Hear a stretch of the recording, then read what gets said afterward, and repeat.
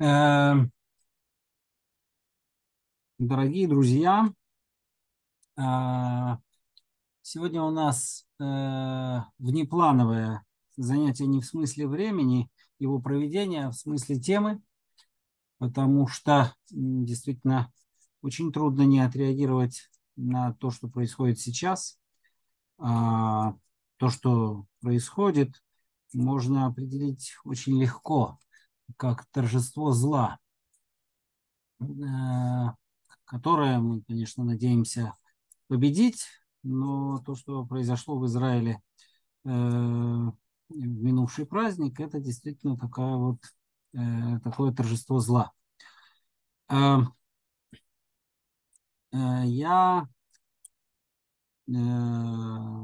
не претендую на то, чтобы дать объяснение и дать э, э, ясный ответ на тот вопрос, который поставлен в заголовке лекции. Я скорее как бы представлю то, как в самом деле отвечает на этот вопрос о существовании зла Танах. Я только скажу, что интуитивно все мы на самом деле понимаем, что такое зло.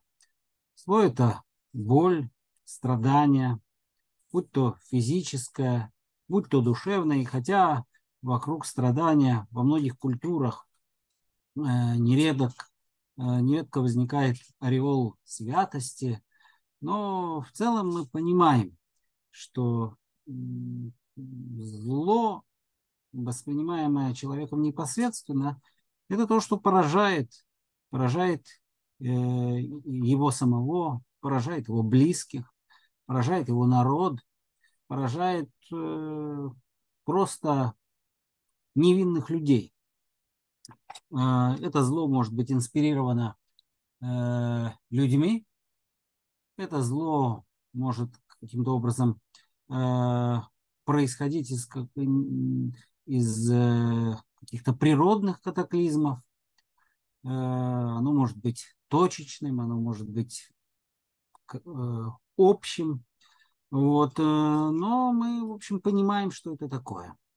Теперь для человека неверующего э, зло представляет собой проблему онтологическую, но не теологическую. Да? Как бы понятно, что это плохо, да? что, э, что хотелось бы жить в таком мире, в котором зла нет.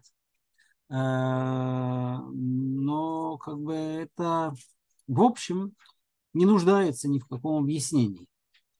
Э, для человека верующего это проблема, которая требует ответа в свете представления о том, что Бог э, есть благая сила. И как только такое заявление делается, тогда э, зло перерастает из мифологической проблемы в проблему теологическую. Оно требует объяснения, э, которое нередко э, превращается в теодицею, в попытку оправдать и объяснить противоречие между благостью Бога и наличием в этом мире зла.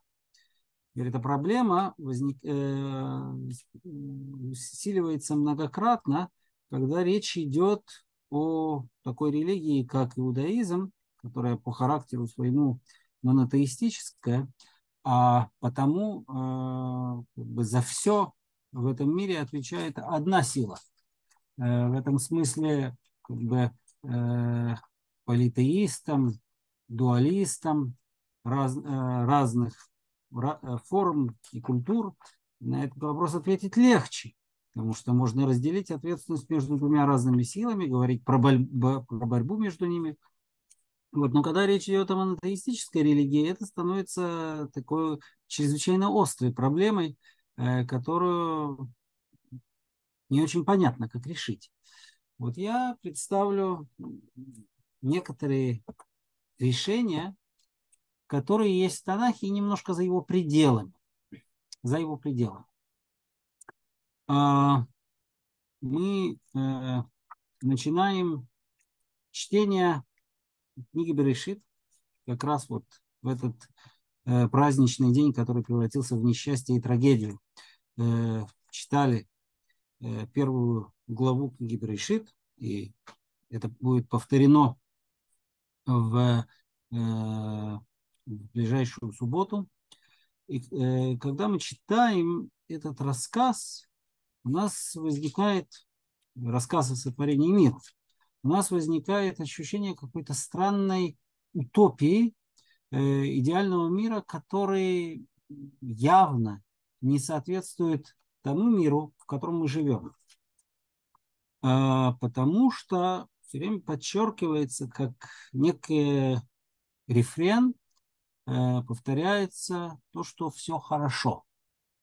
Слово, еврейское слово «тов», э, «хорошо», «добро» является здесь неким ключевым термином. А, это до такой степени впоследствии волновало э, экзегетов, будущих комментаторов, что э, они э, попытались вчитать в этот наш текст разными способами утверждение о том, что э, этот мир не целиком хорош, а, и что в нем есть место тому, что, по крайней мере, человек воспринимает как зло. Э, ну, например, э, известен Мидраш, говорящий о том, что э, когда Бог оценивает все им сотворенное, он говорит, увидит, что все это очень хорошо. Ине тов меод. Очень хорошо. И, и Мидраш говорит здесь, Э, читайте не меод, а мот. Да, не, не хорошо, а смерть. Что даже смерть, которая в глазах э, людей, э, человека, правило, является некоторым, некоторым ультимативным выражением зла, даже это есть добро. Э, есть другие способы, э, другие попытки вчитать э, в этот текст – некое несовершенство мира. Но сам текст первого рассказа книги Берешит, очевидно, стремится подчеркнуть, что мир, сотворенный Богом, хорош. И однако, и однако, есть некоторая трещина в этом идеальном мире. Эта трещина появляется на самом деле в самом начале. Я сейчас не занимаюсь подробным анализом этого рассказа, поскольку мы будем обращаться к разным текстам. Но как бы бросается в глаза начало, где сказано, что земля была тогу во вогу, как бы мы ни переводили этот термин, э, тьма над бездной. Да? И вот это тогу во вогу, тьма и бездна, хоши и тегом, это некоторые субстанции, про которые почему-то наш рассказ не говорит о том, что они сотворены Богом. У нас сотворение фактически начинается с третьего стиха, где говорится, сказал Богу, да будет свет, и стал свет. Ну, а ли Бог тьму? Это непонятно. Творил ли Бог море, пучины? Это непонятно потому что э, когда рассказывается про второй день и про третий день, э, создание э, небесного свода, создание суши, там используется вода, это, но об этой воде не говорится, что она сотворена Богом. Есть мидраж,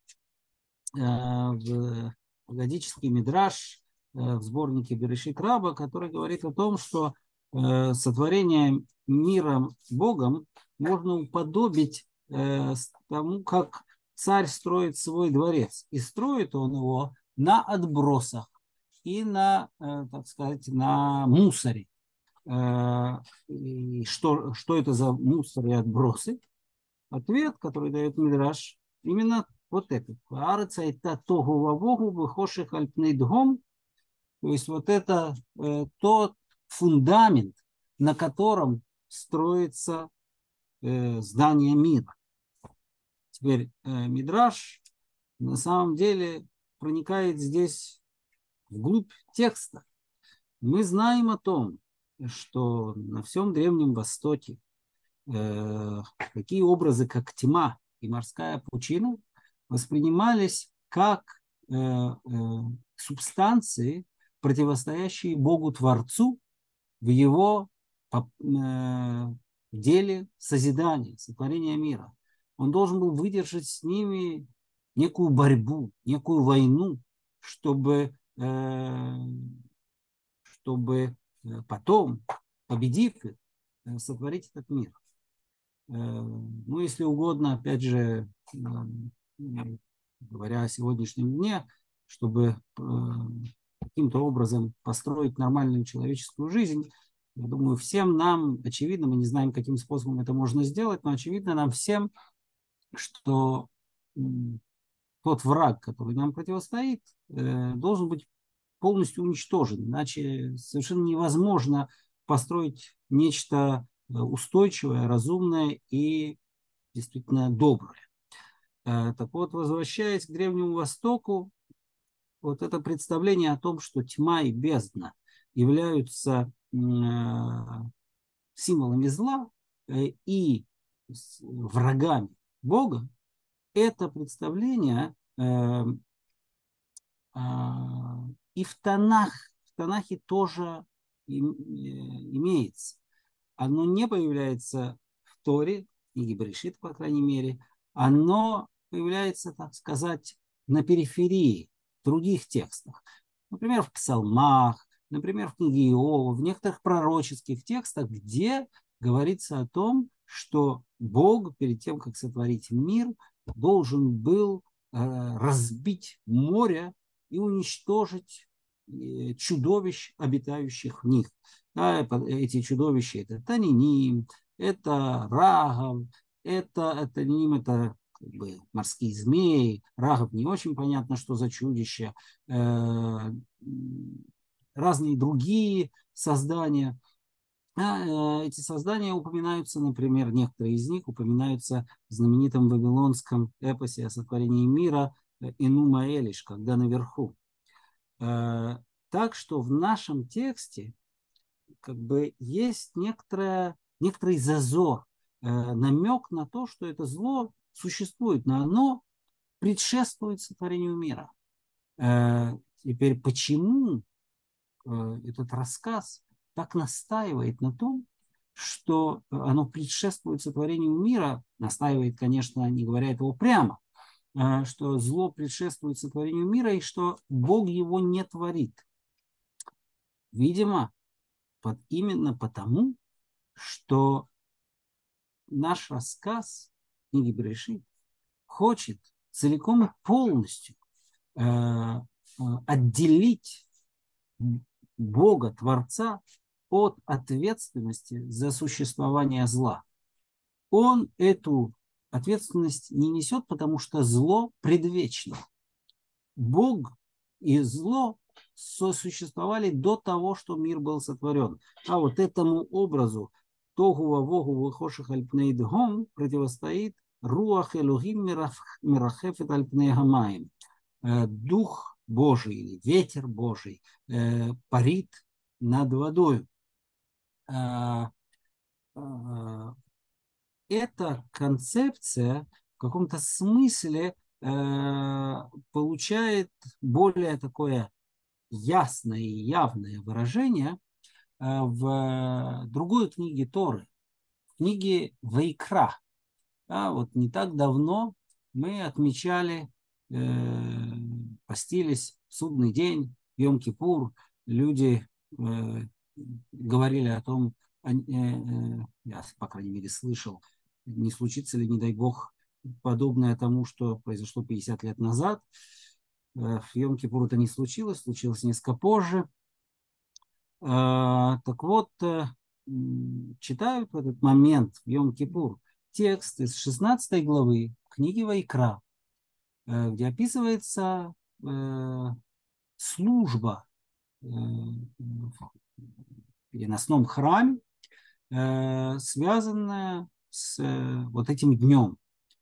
И в центре этой службы э, находится некоторое разделение, разделение областей или власти, можно сказать. Бросается жребий, есть два козла, бросается жребий. Один предназначен Всевышнему, Богу, а другой предназначен некоему существу, которое называется Азазел. Э, можно было бы много и долго говорить отдельно, может, кто-то захочет задать потом вопрос на эту тему, о том, что это за существо, это Азазел. Э, э, на эту тему есть различного рода споры, но, опять же, исходя из известных нам древневосточного материала, а также из семантики самого имени, очевидно, что Азазел – это некий демон, демон пустыни. Э, пустыня является наземной презентацией подземного мира. Э, смысл имени Азазел – это сильный бог. И, и э, опять же, повторяю, есть параллели у этого образа в ханаанской литературе, в, в месопотамской литературе.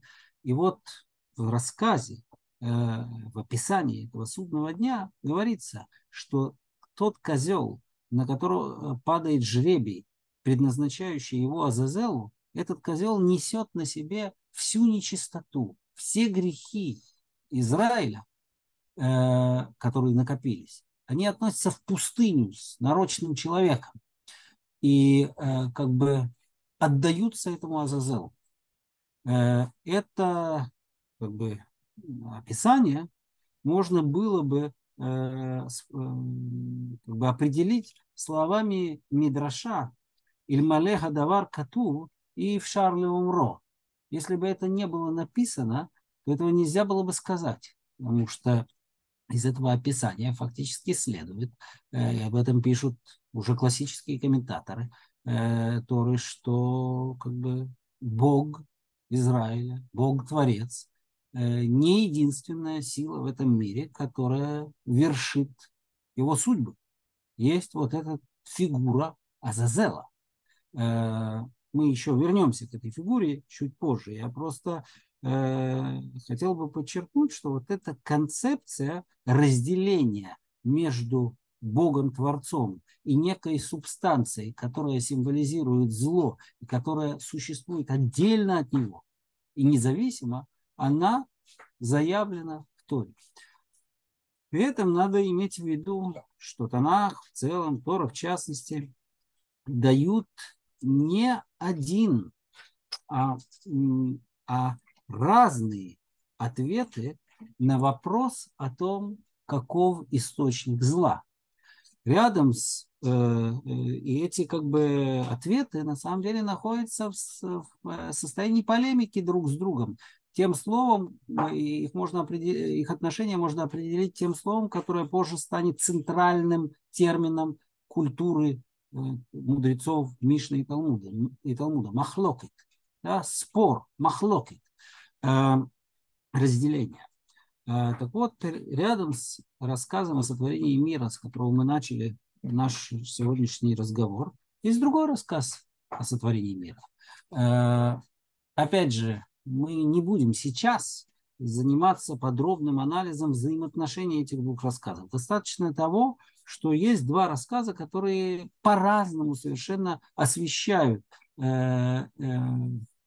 представление о том, как был сотворен мир, и э, по-разному подходят к проблеме сотворения зла. Начать с того, что в этом втором рассказе э, все начинается с утверждения, э, что Бог создает некое древо, которое называется Эцхада Товара. То, чего не доставало в первом рассказе о сотворении мира, термина «ра» – зло, зло появляется здесь. Э, далее э, Бог, задумываясь о судьбе человека, говорит слово, э, выражение, пользуется выражением, которое ровно противоположно тому, которое было центральным в первом рассказе. Он говорит «лё тов, йот адам левадо». «Лё тов», да, нехорошо, недобро. А там, в том рассказе, в первом, было все время тов, тов, тов, здесь «лё тов». Наконец, здесь появляется некий антагонист. И в отличие от Азазела, в, э, в описании э, э, службы Йом-Кипура, в книге Вайкра, антагонист второго рассказа о сотворении мира, антагонист, противостоящий Богу и человеку. Нахаш. Любопытно, опять же, подчеркнуть, что вообще образ змея является так или иначе образом, э, э, который э, связывается с понятием зла. В первом рассказе упоминаются таниним, обитатели моря, а здесь вот нахаш.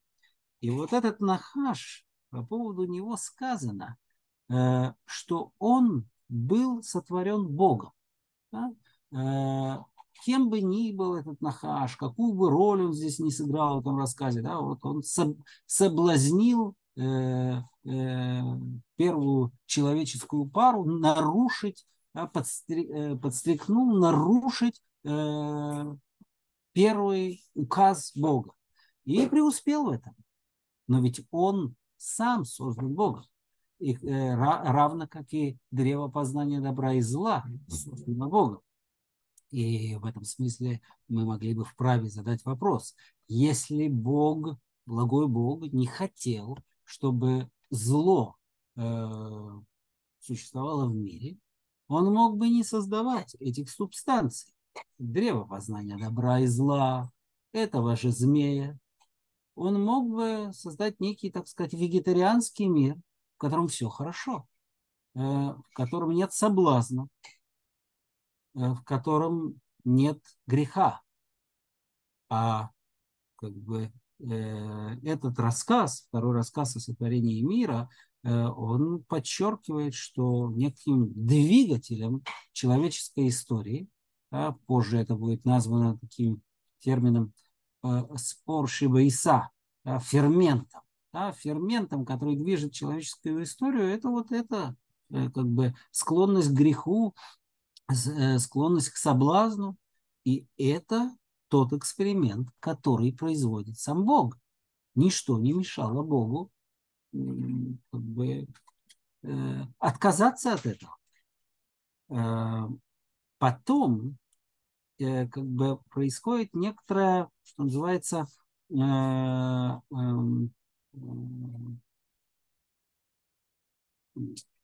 как бы это определить, Э, внешний, э, э, внешний, внешнее выражение греха, вот этот самый змей, сыграв свою роль, отступает на второй план, и грех, как бы и склонность, греху склонность к злу оказывается внутри человека. А в рассказе о потопе, в рассказе о потопе, Э, говорится очень ясно и четко. И, и увидел Бог, что велико зло человека на земле, и всякое его побуж, побуждение его мысли, мысли сердца его, зло во всякое время. Да, человек склонен к злу. То есть э, э, зло становится каким-то имманентным Э, человеческим э, фактором, человеческой чертой, э, которую, однако же, человек может преодолеть. В Торе это очень четко подчеркивается, этот принцип преодоления внутреннего зла и Э, принцип, согласно которому это принцип, который будет положен в основу религиозного мировоззрения на века. У человека есть свобода вы, выбрать между добром и злом. Книги Деварим, тоже мы недавно это читали, говорится очень четко. Вот я предлагаю тебе два пути, э, добро и зло, жизнь и смерть. Выбери жизнь. Да, ты можешь выбрать. Э, как бы человек несет в себе некий потенциал, э, э, потенциал греха, зла в глазах Бога, но он может это преодолеть. Но так или иначе, источник зла в рамках вот этой перспективы оказывается действительно сосредоточен внутри человека.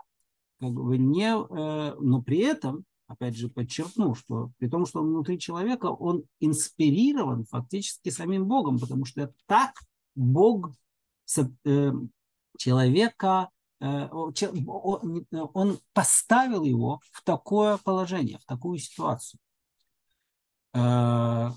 Кстати, в скобках отмечу, змей никуда не исчез.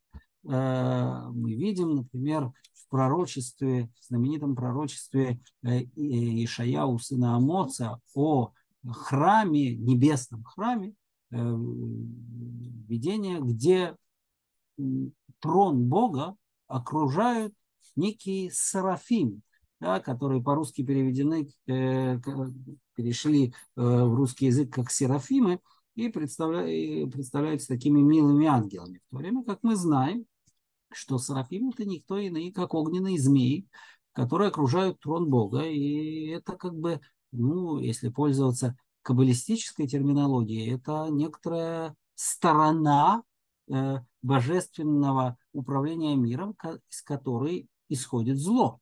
Да, то, что называется э, в э, некоторых каббалистических текстах ситра ахра – другая сторона. Теперь далее. Далее. Э, есть еще один как бы, подход, который мы находим в Танахе и который развивается и дальше, который снова э, э, апеллирует к разделению властей. Этот подход опирается на, в значительной части, степени опирается на рассказ, который как раз завершает тот недельный раздел, который мы будем читать в ближайшую субботу. Это раздел, э, это рассказ о, так, о том, как сыновья Божьи брали себе в жены э, дочерей человеческих, что вызвало недовольство Бога, и, и он ограничил возраст человека 120 годами с тем, чтобы лишить его возможности жить вечно. А вот эти сыновья Божьи, которые являются в Танахе в разных местах и в разных ипостасях, иногда как просто э, ангельский хор, славословящий Бога, э, сотворившего мир, иногда же эти сыновья Божьи превращается в некоторый образ тех, кто творит зло. Теперь источник э, самого термина «сыновья Божьи» прозрачен. Это вполне языческое представление о божественном пантеоне. Есть божественная семья, Бог Отец, Бог Мать, их дети. И э, вот эти дети и есть Бней Лухим, это известно нам хорошо из разных, опять же, древневосточных э, и греческих тоже текстов. А в Танахе, повторяю, есть несколько текстов, которые позиционируют этих сыновей Божьих как э, источник зла на земле. Э, один из этих текстов – это Псалом, 82-й Псалом, в котором э, говорится о том, что Бог э, судит среди богов, э, которые далее называются Бней Ильон, то есть сыновья Всевышнего, которые э, и все вместе они действительно осуществляют некие играют роль неких верховных судей. Так же точно как царь, э, как бы наземный представитель божественной власти, вершит верховный суд на земле, так вот эта божественная община вершит верховный суд, как бы, находясь в небесах. И то ли от имени Бога, то ли от имени самого псалмопевца, им бросается обвинение. Доколе вы будете судить кривдою и лицеприятствовать злодеям? Э, они, вот эти сыновья Божьи, не понимают того, что они ходят во тьме, и от этого сокрушаются основы земли. И поэтому Бог наказывает их в этом псалме, э, лишая их вот этого статуса э, сыновей Всевышнего, божественного статуса, и говорит о том, что они умрут как люди. Ахенки Адам Мутун. В то время как к Богу, Богу э, бросается призыв. Кума Элохим шовта хаарец киататин хальбе холягоим. Восстань же, Бог, суди всю землю, ибо ты будешь наследовать все народы. Да? Вся, все народы земли должны быть э, под, твоим, под твоей властью. Здесь на самом деле заложен целый миф о, э, о разделении э, народов между разными э, божественными э, э, фигурами. Э, но это отдельный разговор. Важно подчеркнуть, что вот в этом псалме, один из текстов который, в Танахе, который так это изображает, источник зла находится в среде вот этих э, сыновей Божьих. Э, эта идея была впоследствии подхвачена очень сильно в эпоху второго храма. Некоторые считают, что здесь сыграл свою роль персидский дуализм, Э, который действительно имеет место в той или иной степени э, в э, религии зороастризма, но нас сейчас интересует другое, что вот этот рассказ о сыновьях Божьих был как бы развит в некую историю, мифологическую историю о восстании и падении ангелов, среди которых, между прочим, упоминается по некоторым версиям наш знакомый Азазел, и вот эти ангелы э, э, не просто берут себе э, земных жен, но они учат людей злу. Это зло по, по-разному описывается. Например, Азазел учит людей делать мечи, ножи, щиты и панцири. Да? То есть как бы учит их воевать.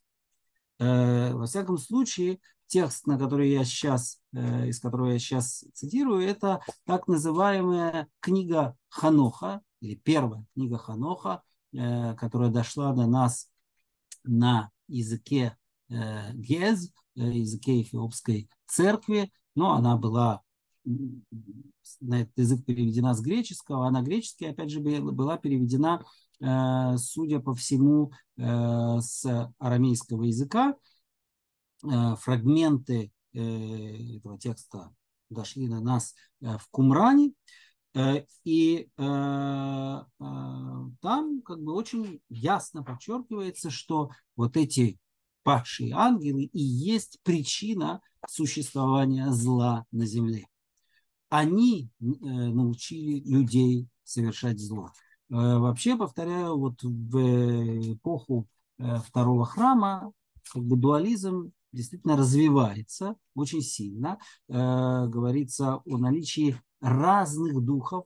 Это и в книге Ханоха, и в книгах, э, в книге э, завещания э, патриархов.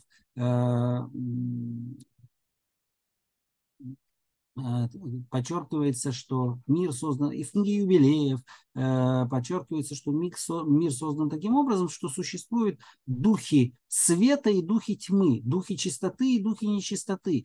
И они как бы борются за сердца людей. Да, вспоминаются слова Достоевского, здесь Бог с дьяволом борется и поле битвы сердца человека. Вот как бы эти духи, эти ангелы, они борются друг с другом. В Кумране это приобретает даже такую эсхатологическую форму э, о некоем будущем, э, э, э будущей войне, э, которая свершится в конце времен между сынами света и сынами тьмы. И э, э, эта война будет вестись как на земле, так и на небесах. Во главе сынов света на небесах будет ангел Михаил, Михаил, Михаил, а во главе сынов тьмы будет некая фигура, которая называется словом э, Вилиал, Блияль, э, термин, который в Танахе имеет значение нарицательное, э, это обозначение некой, отри, неких отрицательных черт человеческих, но это э, как бы э, вот э, в эпоху второго храма становится персоной, образом. Другая персона, которую в этой связи можно упомянуть, это Сатан, который тоже начинает постепенно занимать место э, некоторой персоны, которая, по крайней мере, частично, но отвечает за существование зла в мире. В трех местах, э, в четырех, на самом деле, местах в Танахе э, мы находим сатана вот в такой роли. Это книга Иова, это книга пророка Захарии, это э, книга Деврея Мим, и это один из поздних псалмов. Э, и во всех них э, Сатан выступает как тот, который подстрекает человека совершать зло или испытывает, испытывает его на прочность, как в книге Иова, да, где значит, как бы, э, проверяется, насколько человек может, э, оказавшись в совершенно безумном состоянии страшного страдания, устоять в своей вере. А, теперь как бы, я хотел бы обратить внимание на то, что есть еще одна линия в Танахе, которая, э, опять же, пытается найти некий автономный источник зла. Э, это, эту линию можно условно назвать, э, условно назвать э, исторической или национальной, когда образом врага и э, как бы символом зла становится некий народ. Бог борется уже не с мифическими фигурами моря, морские змеи, Э, и так далее. А Бог борется с некими народами. Кто эти народы? Ну, например, это Египет. Э, э, потопление египтян в море – это, конечно, такой символический акт, который несет в себе мифическое начало, да, вот как в исходном мифе Бог побеждает море, так здесь он побеждает и топит э, исторического врага египтян на море. Другим таким образом, э, разумеется, является образ Амалека, народа, атаковавшего Израиль в момент исхода из Египта и э, с которым Бог, которому Бог объявляет вечную войну э, вплоть до того, что требуется стереть его память из Поднебесной. Согласно книге Шимот, это война самого Бога. Согласно книге Дворим, это должен сделать Израиль. Оба текста читаются в связи с праздником Пурим, потому что Амалек э, – это один из тех образов, которые переросли свое, свое время. Кочевой народ, э, живший в Ханаане, и, видимо, совершавший набеги на оседлое население, э, что-то наподобие э, славянских печенегов, этот народ превращается постепенно в символ зла и лишается каких-то четких этнических черт. А мы видим, что а, Аман в еврейской традиции, Аман Э, Агаги да, э, из книги Эстер, Аман, э, казалось бы, персидский вельможа в Мидраше превращается в потомка Амалека. И дальше это движется по нарастающей. Как бы постепенно еврейская традиция приходит к мысли о том, что всякий, э, всякая человеческая общность, всякий народ, который, э, который э, ненавидит Израиль и пытается уничтожить его, есть Амалек. Поэтому, скажем, в 20 столетии раб Юсеф Дов Соловейчик называл э, нацистскую Германию Амалеком. Э, я думаю, что мы с полным правом можем воспользоваться этим термином э, в отношении к тем безжалостным врагам, с которыми нам приходится иметь дело сегодня, да, с э, исламским террором э, всех мастей, да, вполне можно назвать это воплощением зла, Амалека.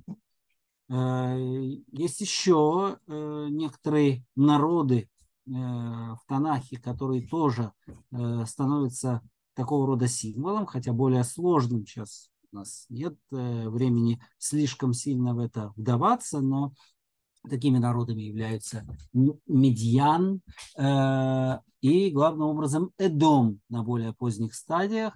Эдом, Сав, да, и дом становится тоже символом зла и тоже перерастает свои э, этнические и временные рамки, потому что э, и дом воспринимается как э, христианская цивилизация средневековья, э, пытающаяся э, так или иначе уничтожить народ Израиля. А, теперь мы подходим, подходим как бы э, к тому, к той антитезе, можно сказать, э, которая, к тем решением вопросов в которые мы видели до сих пор. Ну, может быть, за исключением второго рассказа книги Берешит, там зло как бы э, опосредованно, можно сказать, исходит от Бога, но не напрямую.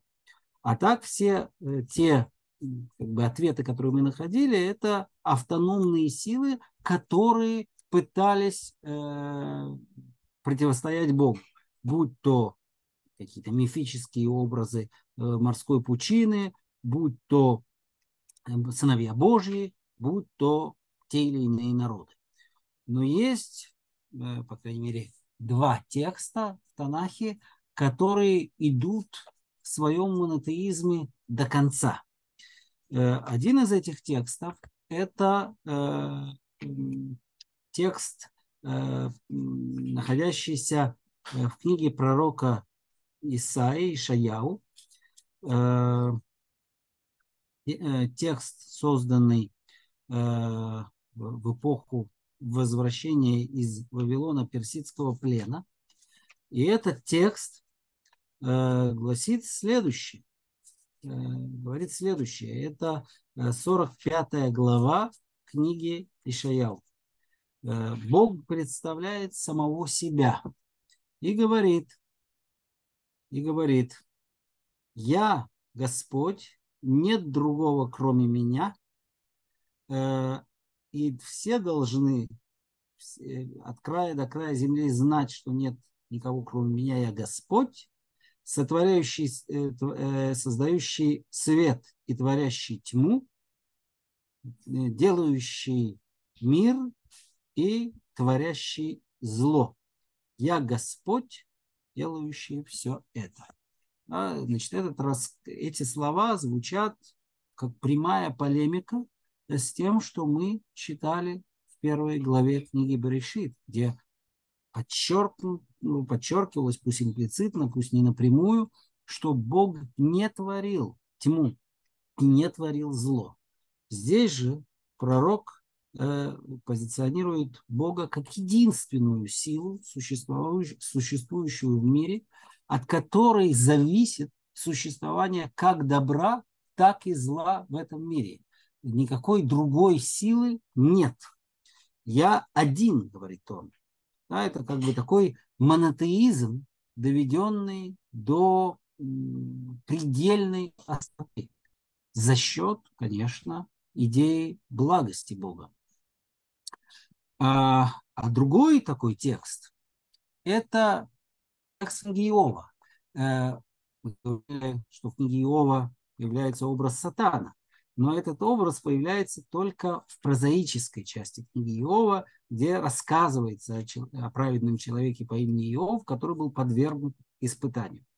А внутренняя, основная часть книги Иова, э, та кни, э, часть, где, которая как бы является, включает в себя поэтические речи, и точка экстремума которой является диалог между героем Иовом и Богом, это как бы часть представляет совершенно иное представление об источнике зла в мире. Ибо Иов обращается к Богу и требует от него объяснить, почему и за что он страдает, э, будучи невинным. А если он виновен, то пусть Бог объявит ему э, эту вину. Бог же в ответ Иову не объясняет ему ни его вины и не говорит о том, что э, Иов наказан справедливо или несправедливо, э, страдает, он говорит, апеллирует только к одному, тезису о том, что он есть Творец мира, единственный, с которым никто не может соперничать.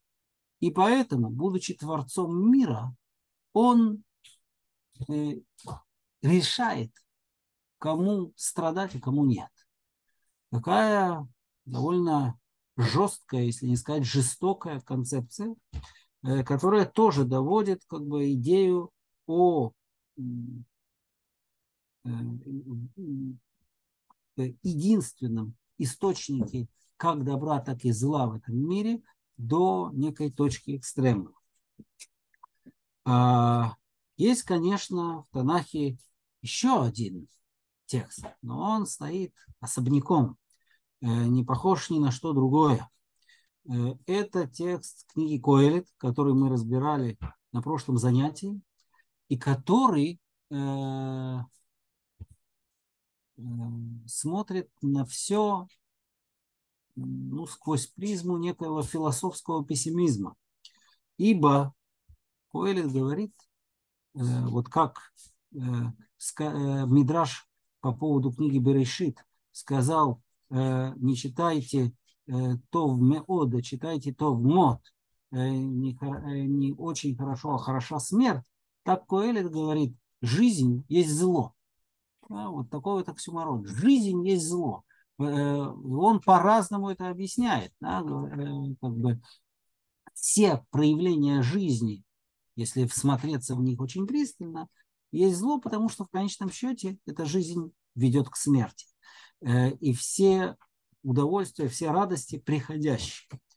Эм, это такое вот представление философского пессимизма в Коэлите, оно, повторяю, как бы э, ну, ни с чем не сравнимо в Танахе. Танах в целом, когда касается проблемы существования зла, как бы э, не дерзает даже книги Иова сказать, что жизнь э, есть зло. Потому что в конечном счете Танах, несмотря на э, как бы понимание самой проблемы наличия зла в мире, все-таки убежден в глубине.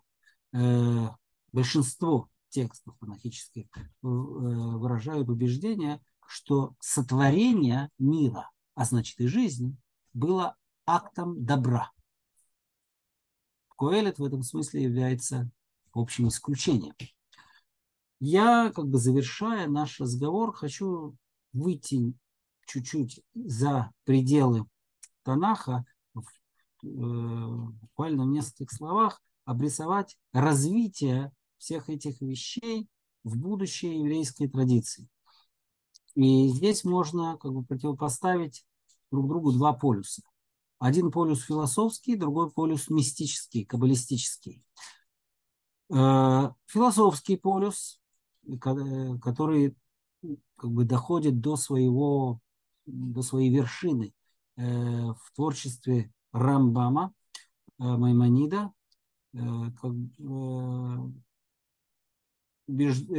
представляет нам концепцию, согласно которой никаких других сил, кроме Бога, в этом мире нет, никто ему противостоять не может, он единственный источник всего, а что касается зла, то Рамбам по следам Аристотеля решает эту проблему следующим образом. Он говорит о том, что зло в известном смысле есть некая... Э, те, кто считает, говорит он, что зло есть самостоятельная субстанция, ошибаются. Зло есть отсутствие добра. И зло может быть, э, исходить из трех компонентов, из трех, состоять из трех компонентов, исходить из трех, рождаться из трех источников. Во-первых, тот факт, что э, мир, сотворенный Богом, э, не вечен, а, а истлевает, это есть зло в глазах человека. Во-вторых, сами люди, говорит Рамбам в Мореневухим, причиняют друг другу зло.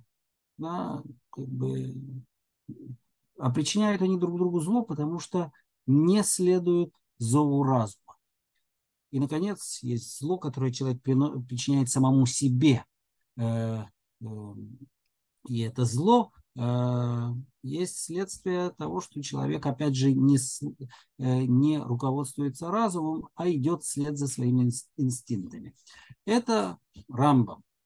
А с другой стороны, есть полюс, который повторяю, представлен мистической традиции, э, и в основе этого полюса лежит представление о том, что э, есть некая самостоятельная субстанция, которая воплощает в себе зло. Эта самостоятельная субстанция находится, э, имеет своим источником небесную э, структуру, э, э, потому что э, как бы сам Бог это некий организм, составленный из различных, как бы состоящий из различных частей, то, что Рамбам принять в принципе не мог. И как бы есть два полюса внутри самого Бога. Есть то, что называется Медат Харахамим, или Медат Ахесет, и Медат Один. И вот это Медат Один, мера суда, она в известном смысле и представляет собой э, источник зла в мире, ситра ахра, другая левая сторона. И это вполне реальная э, субстанция, которая имеет вполне реальное проявление Э, в жизнь. Я как бы подытоживаю, перед тем, как дать вам возможность что-то сказать или задать вопросы, еще раз э, подчеркну, я не пытался дать э, ответ на вопрос, почему существует зло. Это невозможно и не в силах человека. Я пытался только сказать, как еврейская религия, еврейская традиция пытается ответить на этот вопрос. Повторяю, мы все интуитивно прекрасно понимаем, что такое зло, и столкнулись сейчас с таким вот взрывом этого зла, так примерно, как это описывает книга Берешит э, в рассказе о потопе. Один из этих стихов мы читали, цитировали. Есть и другой стих, который начинает следующий недельный раздел. «Ватишахета арец лифнеха Илухим ветималеха арец хамас». И развратилась земля перед Богом и наполнилась земля насилием. Сейчас это звучит особо э, угрожающе именно вследствие вот этой переклички фонетической между еврейским словом «хамас» – насилие и той страшной людоедской организацией, которая, которая э, обрушила на нас, э, на наш народ, на нашу страну несчастье и горе. Мне хочется закончить свое э, краткое э, выступление э, словами, которые принадлежат вовсе не еврейскому писателю, философу. Это не еврейский источник, это слова, принадлежащие французскому писателю 20 века, писателю, философу Альберу Камю, который написал роман о зле, и о борьбе со злом. Роман, который называется э, «Чума». И, опять же, я не буду сейчас вникать в прототип этой чумы, он достаточно ясен, он как бы, имеет в виду э, в первую очередь нацистскую Германию, но э, он говорит о, как бы, о природе зла такими словами э, от имени одного из героев. Он говорит, если бы он верил во всемогущего Бога, он бросил бы лечить больных и передал бы их в руки Господни. Но дело в том, что ни один человек на всем свете, э, который верит, что верит, не верит в такого Бога. И э, поскольку никто полностью не полагается на его волю, и поэтому на человеке лежит обязанность бороться против э, зла, установленного этим миропорядком. И говорит он еще более жесткие слова. Раз порядок вещей определяется смертью, может быть для Господа Бога вообще лучше, чтобы в Него не верили и всеми силами боролись против смерти, не поднимая глаза, глаз к небесам, где Он так упорно молчит. А, а, и когда ему говорят, что чума, да, даже какие-то победы над чумой были и будут только приходящими, этот герой говорит, я знаю, что так будет, но это еще не довод, чтобы бросать борьбу. Да, э, но нас, э, и хотя эти слова сказаны атеистам, я бы, перефразируя их, сказал бы так.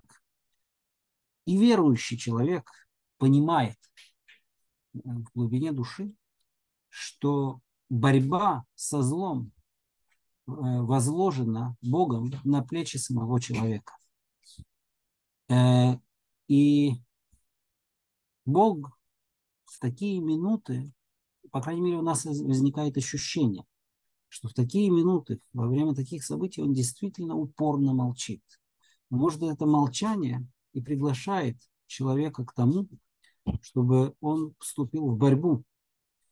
И мне хочется, мы видим, что э, и наш народ, и в других местах на земле сейчас э, силы добра ведут борьбу против сил зла.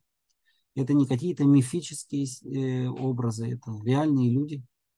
В нашем случае это солдаты обороны, армии обороны Израиля, граждане, которые пытаются защищать, защищать жизнь свою и своих близких. И хочется надеяться, что эта борьба Э, завершится реальной победой. Потому что, опять же, повторяю, без того, чтобы э, окончательно сломить это насилие, Хамас, э, невозможно построить никакое устойчивое здание, в основу которого положено добро. Вот этой надеждой на поражение зла в нашем мире я и хочу закончить свои, свои сегодняшнее выступление. И все, кто хочет э, что-то сказать или задать вопрос, приглашается сейчас. Прошу. Дима, да. Дима, может ли быть так, можно э, трактовать так, что, э, ну ты уже говорил это, что зло – это один из способов управления миром. Значит, зло дано для того, чтобы люди, человек, люди, народы проснулись и поняли, что нужно. Каким образом Бог может э, учить людей? Вот один из способов научения людей – это зло, которое, в общем, мы не понимаем. Для нас это очень тяжело, для этого у нас очень ну, трудно, это трагедия, это все прочее, но Бог смотрит в какой-то отдаленной перспективе вперед. У него есть свои какие-то определенные понятия о научении. Ну и в таком случае добро, можно сказать, это зло, это можно сказать, что добро.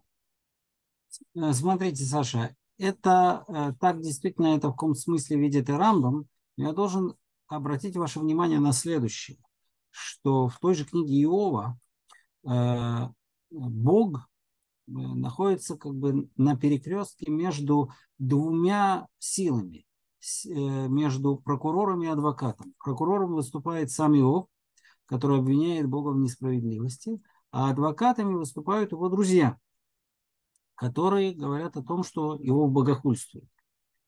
И в конце книги э, Бог э, неожиданным образом, тот самый Бог, который сказал, что только у Творца есть право определять, что благо, а что зло, э, внезапно говорит, что друзья эти должны просить у Иова, чтобы он молился за них. Потому что гнев его возгорелся на этих друзей, ибо, и вот здесь как бы основные слова, «Килло дибартем илай нихона авди Иов», ибо вы не говорили обо мне правдиво, как это делал раб Иов. Да, то есть получается, что, по крайней мере, с точки зрения э, этого текста, человек на самом деле вряд ли имеет право сказать, что зло осмысленно. Э, по двум причинам. Если он говорит, что зло осмысленно, сам от этого зла не страдая, то тогда получается, что он пренебрегает страданием людей. А если он говорит, э, что зло осмысленно, э, испытывая свое собственное страдание, то по крайней мере, опять же, с точки зрения этого текста, он не может говорить правду, потому что когда человеку больно, когда он страдает, он не может это оправдать. А, впоследствии, там, скажем, другой текст, э, текст Мишны, э, утверждает обратное, говорит, что человек должен благословлять Бога как за то благо, которое тот ему дарует, так и за те беды и за то зло, которое э, его постигает. Э, но это в Мишне. Иова, например, это иначе. То есть я, опять же, не могу сказать, что вот этот тезис, который вы высказали, он всеми однозначно принимается. Некоторыми да, некоторыми он однозначно отвергается. Э, еще вопросы, замечания, кто-то что-то хочет высказать? Я хочу. Да, пожалуйста. Можно? Да, конечно, Елена. Скажите, пожалуйста, вот зачем нужна вот эта идея, вообще, э, э, э, ну, вот эта идея, что Бог это добро? Потому что это, это очень противоречит тому, что он справедливость. И на самом деле, то есть если человек, например, прыгает с 16 этажа, да, можно сказать, это Бог несправедлив, что он его разбил. Э, ну, то есть, вот понимаете, это и вот это так я вижу, когда нам объясняют, что мы должны благодарить э, э, э, Всевышнего за то, что он нам дает даже страдания и так далее. Э, это вот, вот из этой серии. Мы прыгнули с 16 этажа, нас Всевышний наказал, и мы должны быть ему благодарны за то, что он нам дал добро. Вместо того, чтобы выучить, как бы, ну, вы поняли, да? Я понял, надеюсь, да, хотя человек, когда прыгает с 16 этажа, он делает это по своей воле, не то, что он падает с 16 этажа, вот, но э, так или иначе, есть, например, у гностиков такое было мистическое течение э, в начале э, первого века новой эры, э, представление о злом боге, который противостоит доброму богу. И бог-творец воспринимается в гностическом учении как злой бог. Но если мы говорим о еврейской традиции, то, ну, я повторю, как бы сам акт сотворения мира и дарования жизни воспринимается как акт блага. И э, в этой ситуации Бог выступает как благосила. Э, справедливость, кстати, Э, не противоречит этой благости. Наоборот, в Танахе справедливость идет рядом с благостью. В более поздние времена действительно эти понятия были разнесены, вот в том же мистическом учении, в Кабале, это две разные ипостаси э, божественного, но изначально это совершенно не обязательно так. Наоборот, справедливый суд обозначает добро. А, а, значит, э, в тот момент, как бы, если исходить из идеи о том, что сотворенный Богом мир, сотворение Богом мира было благим деянием, сотворение жизни было благим деянием, подарком данным Богом живым существам вообще и человеку в частности, возникает потребность объяснить, почему этот мир, сотворенный во благе, включает в себя очевидное зло, которое на интуитивном уровне, опять же, повторю, это боль и страдания. И человек ищет ответы на этот вопрос. Это вполне естественно. Да, люди ищут ответы на этот вопрос. Нет, вы, вы, вы не поняли, это, не, это неправильно поставленный вопрос. То есть сначала человек как бы определяет, что Бог это добро, потом он видит, что от Бога исходит зло, и он ищет ответа на вопрос, а почему Бог, который добро? А почему надо определить Бога как добро? Вот именно в этом вопрос состоял. По всей видимости, потому что э, верить, э, во-первых, то, что есть у мира Творец, а во-вторых, что этот Творец возложил на человека определенную миссию, э, которую тот исполняет в процессе своей жизни, вот это, эти две составляющие веры требуют э, представления о том, что Бог добр, потому что служить злому Богу – это уже некоторое извращение. Да, Нет, как... не надо, не надо крайностей, не надо злого или доброго. Справедливого, справедливого. Зачем нужно добрый или злой? Э, смотрите, вы апеллируете терминами, которые могут вообще э, существуют, имеют право на существование, но факт заключается в том, что э, человеческая культура, человеческая цивилизация в разных ее проявлениях постоянно апеллирует терминами добро и зло, потому что это как бы некоторые базисные экзистенциальные термины, необходимые для самосознания человека. Да, понятное дело, что, видимо, э, животные, например, они как бы э, для них это какие-то э, непостижимые категории. Но человеку свойственно именно в этих категориях осмысливать происходящее вокруг него. Не только в категориях наказания или, наоборот, награды, справедливости или несправедливости, да, как бы требуются какие-то более общие категории, Э, точно так же, как человек апеллирует к категориям истины и лжи, как он апеллирует к категориям добра и зла. И в отношении Бога, несомненно, тоже. Ну, окей, совершенно непонятно, потому что теряется логика.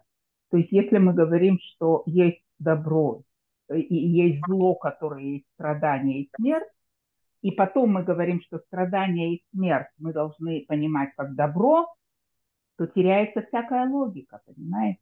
Я не уверен в том, что мы должны понимать страдания и смерть как добро. Это вы сказали только.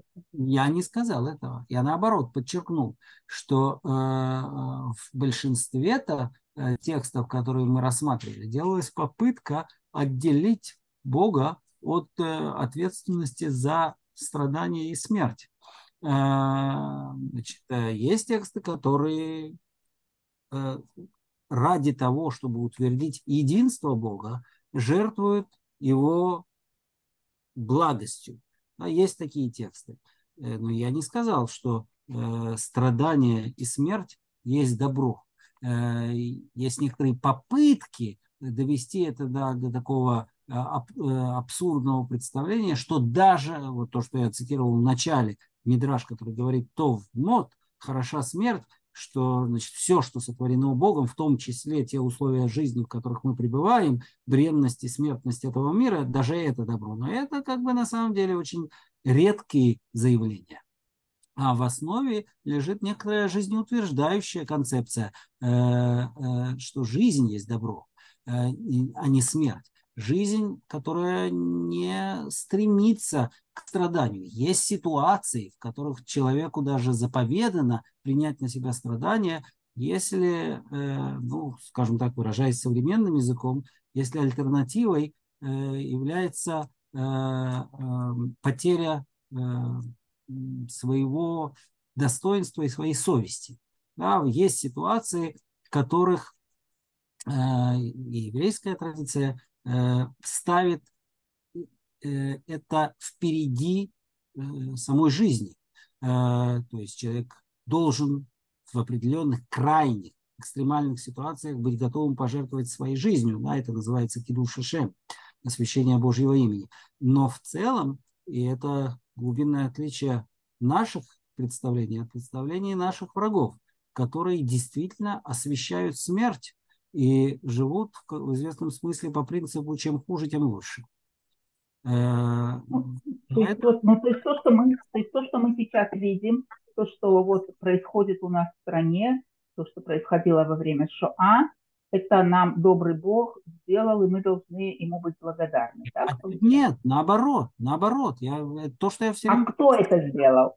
А вот кто это сделал, это, э, опять же, э, я не буду возвращаться ко всему тому, о чем мы говорили, были разные попытки ответов, кто это делает, в том числе да, ну... ответы, исходившие от Бога, но э, я должен отметить, что э, ну, мало кто в сегодняшнем Израиле э, в этом смысле, ну, как бы сказывается, конечно, и э, общегуманистическая направленность э, нового времени. Да? Э, мало кто решается напрямую сказать, что, например, катастрофа это есть некое орудие наказания. Тот, кто говорит это, э, обычно подвергается шквалу критики, в том числе среди верующих людей. Э, в этом смысле порог, болевой порог древних текстов был менее высоким. Э, они могли сказать, что, например, такое событие, как разрушение храма и изгнание народа Израиля со своей земли, это наказание которое Бог наслал за грехи. Сегодняшние, э, сегодняшние люди с трудом могут воспринять такую идею и предпочитают оставаться в неизвестности, э, нежели принимать ее. И опять-таки э, приходит к тому, чем я кончил, да, что человек должен, даже не слыша прямого ответа Бога на вопрос о зле, делать все от него зависящее, чтобы это зло уничтожить. Спасибо. Пожалуйста. Есть кто-то еще, кто хочет что-то сказать или спросить перед тем, как мы завершим? У меня конкретный вопрос очень. Да. Я думаю, что короткий был. Да. Меня э, интересует, значит, вот Бней Раким, который упоминается в Берешит. Значит, я слышал такое толкование, что имеется в виду не э, сыновья Бога, что это некие, некая такая элита или такие сверхчеловеки ницшевские какие-то, то есть mm-hmm. группа людей, обладающая какими-то, которые себя мнят, э, э, которым множеством все дозволено или что, не понимаете, то есть я понял, да. таким силы, какие-то люди сильные, да, вот такие вот, по сравнению с другими простыми людьми, и вот они их, этих дочерей берут, так сказать, без разбора. Вот. Я понял ваш вопрос, Эмиль. Да, такое объяснение существует.